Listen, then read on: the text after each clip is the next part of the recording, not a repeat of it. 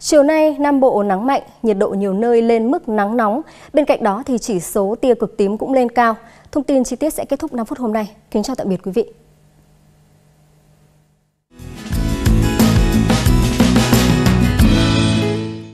Dự báo trưa chiều nay nắng lên mạnh ở các tỉnh thành Nam Bộ, nhiệt độ cao nhất nhiều nơi 33 đến 34 độ C, thậm chí Biên Hòa, Đồng Phú, Tây Ninh còn ở mức nắng nóng 35 độ C. Bên cạnh đó, dự báo chỉ số UV tại thành phố Hồ Chí Minh, Cần Thơ, Cà Mau trưa nay lên rất cao ở mức 9. Trong các loại tia UV, tia UVA chiếm tỷ lệ 95% trong ánh nắng. Khi chiếu lên da, nó có thể xuyên tới tầng hạ bì, khiến da dễ bị nhăn, lão hóa sớm. Đây cũng là tia có thể chiếu xuyên qua kính. Vì thế, ngay cả khi di chuyển bằng ô tô, quý vị vẫn nên mặc áo dài tay, bôi kem chống nắng, đeo kính dâm. Lưu ý chọn loại kính có chỉ số tiêu UV 400 để có hiệu quả cản nắng cao nhất.